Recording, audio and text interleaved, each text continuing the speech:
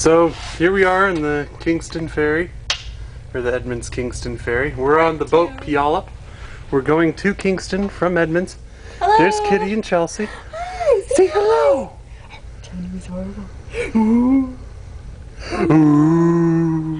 Chinese horrible. Ooh. Yeah.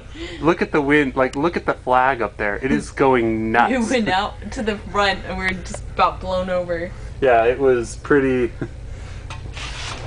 um, yeah, Windy? windy. so, so you can kind of see just the ocean going out over there. And I think that goes down towards Seattle area over there.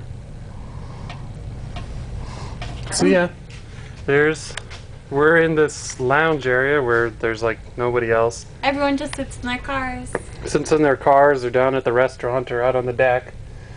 And uh, there's a sailboat over there. I don't think you can see it, but You can.